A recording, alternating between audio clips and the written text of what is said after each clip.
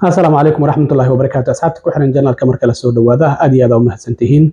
Maanta waa talaado kowda bisha sanadka labada kun iyo afar iyo labaatanka. Muuqaalkan waxaan rabaa inaan uga hadlo dad fara badan oo dadka igu xiran ka mid a gaar ahaan maraykanka ku nool ayaa maalmahan waxay soo weydiinayeen lacag hal doolar ah oo qofku haddii uu helo inta u dhexaysa labaatan kun ilaa iyo boqol iyo konton kun oo doolar uu heli karo. Haddaba arrintaasi maxaa ka jira? Ayaan rabaa inaan idinla wadaago dadkii ka imaanayay afarta wadan ee latin america oo cafiska uu fidiliyay maamulka madaxweyne joe biden magaalooyinka ugu badan oo la geeyey oo wasaaradda amniga gudaha ay daabacday.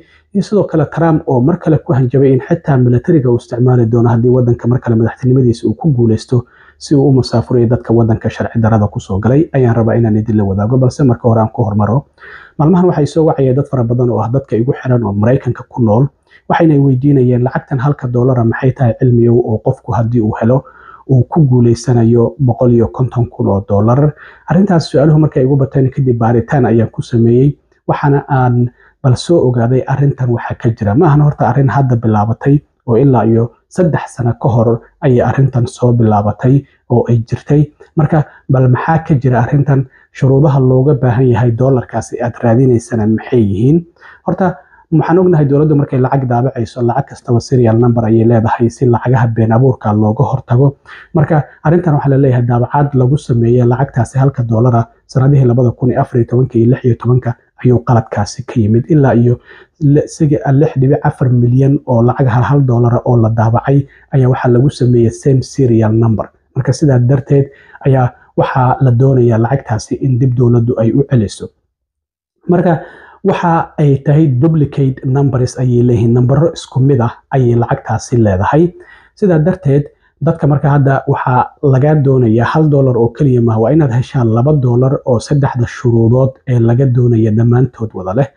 Saddexdaasi shuruudood maxay kala yihiin marka?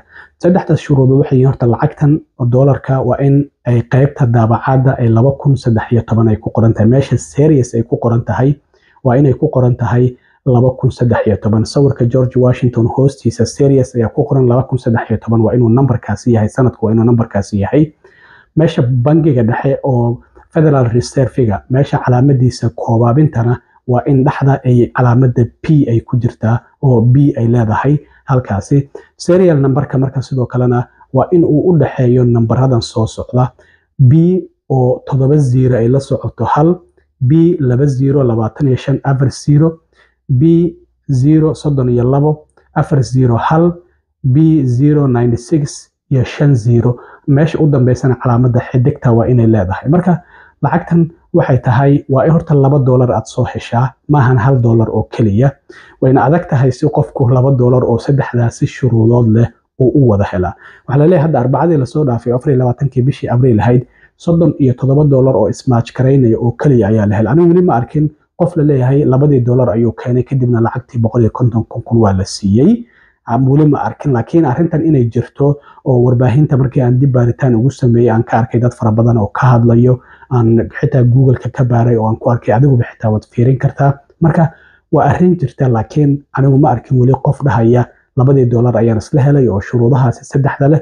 Markaasi kadibna lacagtii waa la isiiyey weli ma aanan arkin laakiin waa suuragal in mid ka mid aad hesho laakiin laba doolar inaad isla hesho weli waa ay adag tahay. Lacagtu waa ilaa iyo lix milyan ka badan oo hal hal doolara wadanka gudihiisa ayay ku faafsan tahay. Marka waa suuragal in aad aragto hal doolar oo hal shuruudihii ka mida leh laakiin xitaa laba ka mida laakiin saddexda shuruudood ay u dhammaystiran yihiin. Sida aad ku hesho waa aad adag tahay. Hadda wax yar sambal ayaan idin tusayaa. Halkan waxaan ku hayaa saddex doolar ayaan ku hayaa oo doolaraad ah marka saddexdan doolar saddexdii shuruudood hal ka mida ayay kulligood wada leeyihiin. Waxaa halka halka shuruud wada leeyihiin ay tahay halkan waxaa ku qoran in ay sanadka uu yahay laba kun iyo saddex iyo toban inuu yahay. Calaamada b-da meesha laga raba inay ka muuqato waa halka meeshaas koobaabinta ah. Hadda tan f ayaa ku qoran tan kalena l ayaa ku qoran halkan doolar oo kalena c ayaa ku qoran. Serial numberkuna marka halkaas waa inuu ku qoran yahay. Serial numberku waa kaa serial numberka la raadinayana laakiin kan maahan serialka numberka aan idiin sheegay halkana idiin soo saari doono waa inuu halkaa ku qoran yahay.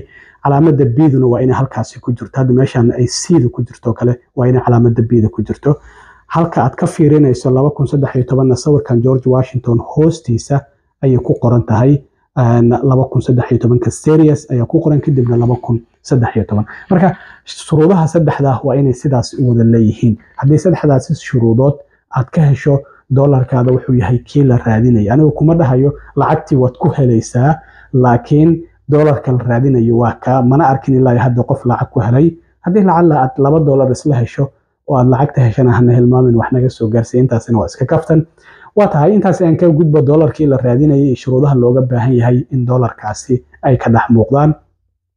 Waxaan ognahay maamulka madaxweyne joe biden bishii octoobar ee sannadkii labada kun iyo labaiyo labaatanka cafis ayuu u fidiyey dadka ka imaanaya afar wadan oo latin america waxay kala ahaayeen venezuela haiti nicaragua iyo cuba. Haddii dad ay u joogaan maraykanka dadkaasi cafis ayaa loo ogolaanaya laba sano ay wadan ku joogi karaan kaarkii shaqadana lagu siinayo.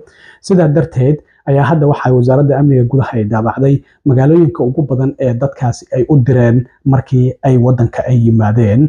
Waxaana magaalooyinkaasi afar ka mida ay ku yaalaan gobolka florida. Magaalo kastana tirada dadka loo diray ayaa sidoo kale la shaaciyey. Haddii magaalooyinkaasi florida gobolka florida ka mida waxaa oo loo diray dadkan waa miami fort lauderdale orlando iyo weliba tamba ilaa iyo shan iyo toban magaalo oo dadkaasi loo diray ayayna qeyb ka yihiin. Miami ayaa ugu badan oo sagaashan iyo kow kun sideed boqol labaatan iyo kow qof loo diray. Fort lauderdale ayaa soo raacda oo lixdan kun afar boqol lixdan iyo kow qof loo diray. New york ayaa soo raacda oo afar iyo toban kun sideed boqol labaatan iyo toddoba loo diray. Waxaa sidoo kale soo raacda houston texas oo toddoba kun sagaal boqol labaatan iyo saddex loo diray. Waxaa sidoo kale soo raacda orlando oo florida oo lix kun afartan iyo saddex qof loo diray. La oo california waa los angeles waxaa loo diray tamba oo florida ayaa loo diray. Halka sidoo kale dallas oo lix loo diray. San francisco california ayaa loo diray. Atlanta ayaa ugu dambeysa oo georgia oo loo diray. Waxaana guud ahaan ay isku gaarayaan qof oo wadanka qaab cafis ahaan oo afartaasi wadan ka yimid oo wadanka soo galay. Ninkii trump ahaa weli dhaartiisii ayuu wada u dhaaranaya dadka wadanka sharci darada ku soo galay.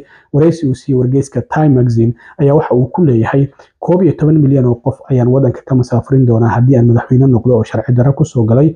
Waxauna yidhi xeree waaweyn ayaan samayn doona oo dadkaasi aan isugu geeyo xadka iyo gudaha maraykankaba ku yaalla milatarigana waan isticmaali doonaa ayuu yidhi trump. Trump waxau leeyahay waxaan dib u celin doonaa muuqaalkii iyo haybadii maraykanku uu lahaa iyo doorkii uu caalamka ku waa sida uu hadalkiisa u dhigay. Mar la weydiiyey ma dad shacab ah ayaad military u isticmaalaysaa oo sharcigii wadanka u yiila miyaad baalmaraysa ayuu wuxuu yiri dadkan ma ahan muwaadiniin maraykana waa dad maraykanka sharci darro ku soo galay. Waxaana laga yaabaa ayuu yiri inaan iska dhiga tiraba sharcigaasi oo militariga aan dadkan u isticmaalo. Marka trump hanjabaadihiisa weli waa uu sii wataa waxa uu leeyahay musaafiriintii ugu ballaarneed ayaan wadanka ka samayn doonaa militariga ayaan isticmaali doonaa. Xeryahaasina xadka iyo gudaha maraykankaba waan ka samayn doonaa. Dadkaas intaan isugu geeyo ayaan celin doonaa.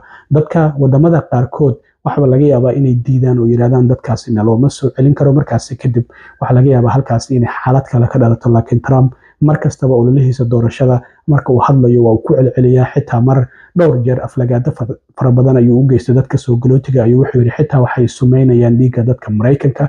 Hadallo fara badan oo kala duwan ayuu dadka soo galootiga ah ka jeediyay laakiin trump waxa uu leeyahay musaafiriintii ugu ballaareed ayaan wadanka ka samayn doonaa haddii aan mar kale madaxweyne ka noqdo. Aad iyo aad u mahadsantiin asxaabta intaan mar kale kulmi doono oo saaxiibkiina cilmi waaro idinla sida iyo nabadgelyo